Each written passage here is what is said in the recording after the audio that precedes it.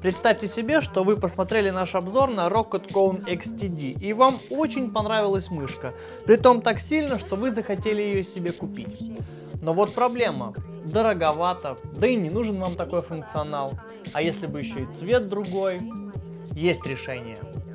Rocket Cone. Название Pure объединяет в себе три мышки. Обычная Pure, Pure Color и Pure Optical. То есть цветная и оптическая соответственно. У меня как раз два последних экземпляра. Тут надо сказать, что форма у мышек одинаковая, но сами мыши немного разные. Например, Pure и Pure Color отличаются тем, что Color просто-напросто разноцветные, а все остальное у них одинаковое. А вот в Pure Optical, кроме того, что цвет другой, еще и сенсор оптический. Вот такие отличия. Итак, Rocket Con Pure Color. Мышка существует в нескольких цветах, ну а мне досталась оранжевая. На самом деле, если сравнивать ее со старшей сестрой Cone XTD, то вы увидите, что отличие только в размерах, цвете и оформлении подсветки. Ну и в младшей модели скролл не четырехпозиционный, а обычный. Как вы поняли, форма осталась та же. Это круто, потому что Cone XTD одна из самых удобных мышей, которые я юзал. Здесь то же самое, только для обладателей меньших рук.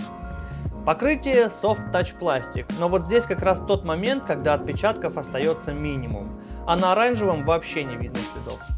Если говорить о внешнем виде, то сочетание цветов очень крутое, и лично мне кажется, что серия Color одна из самых красивых у Рока.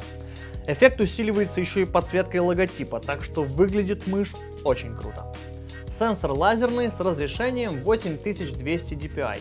Если честно, я даже немного не понимаю, зачем такие огромные цифры, но знаю парочку любителей таких настроек.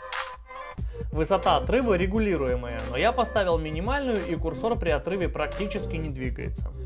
Это для тех, кто мне ВКонтакте постоянно пишет, что у некоторых мышей не регулируется высота отрыва и так далее. Вот вам, здесь регулируется. Кнопок 7, ничего необычного, 3 стандартные, 2 боковые и кнопки переключения DPI. Скролл не хуже, чем у XTD, прорезиненный, с хорошим ходом. Единственное, что он не четырехпозиционный, а обычный. Провод тонкий и в тканевой оплетке. Это хорошо тем, что он легкий, долговечный и почти не пачкается. Но кому-то не нравится, что тканевый провод издает неприятный звук, когда трется об ковер. Теперь возьмем Con Pure Optical. Она существует только в одном цвете и отличается от Color сенсором. Он оптический с разрешением 4000 dpi. Все остальное не поменялось, даже покрытие. Может показаться, что оно другое, но нет, все тот же Soft Touch пластик. Только из-за расцветки здесь даже самых мелких отпечатков не видно. Если же сравнивать в играх преимущества и недостатки оптики и лазера, то если честно, я отличий не заметил. Да, у лазера выше разрешение и точность, но на практике я этого не ощутил. Так что сами решайте, как вам удобнее. Если говорить о том, как вообще мышки ведут себя в играх, то претензий у меня нет, потому что все задачи, которые я ставил перед ними, мышки выполняли. Шутеры, MOBA-игры, стратегии, в любом жанре что одна, что другая мышка показала себя на уровне. Точный сенсор и хороший клик – отличное сочетание для геймерской мыши. Софт тот же. Первая вкладка с настройками. DPI, скорости скролла, дабл-клика и скорости мыши. Далее вкладка с настройками функций Easy Shift и кнопок. Потом расширенные опции. Частота опроса, сенса по осям X и Y, высота отрыва, озвучка смены профиля или DPI и сброс настроек. Тут же можно и менять скорость мышки в винде. Следующие вкладки – настройка подсветки, статистика нажатий и пробега и поддержка. Тут ничего сложного нет. Какой итог? А такой, что Rocket делают очень правильно. У них есть крутая флагманская модель и модель помладше.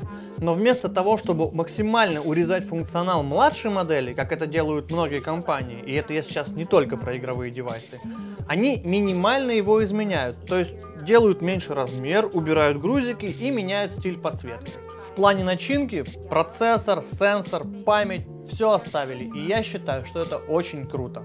На этом все, с вами был интернет-магазин Photos.ua, меня зовут Максим, подписывайтесь на наш канал на YouTube, участвуйте в конкурсах, следите за новыми видео и оставайтесь с нами.